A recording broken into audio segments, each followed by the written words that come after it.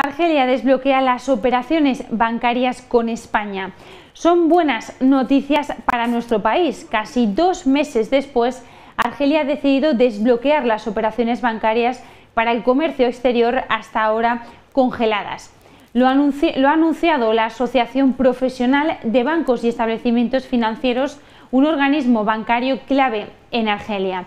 La orden de congelación de las domiciliaciones bancarias relacionadas con el comercio exterior desde y hacia España fue emitida el 9 de junio como consecuencia de la suspensión del Tratado de Amistad, Buena Vecindad y Cooperación. Esta medida provocó un bloqueo total del comercio entre ambos países, a excepción de las exportaciones de gas de Argelia, que no se han visto afectadas por esta medida.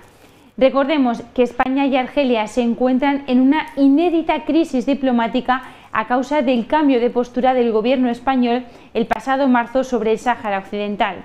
El gobierno de Sánchez decidió postularse a favor de la propuesta marroquí de una autonomía dentro de Marruecos.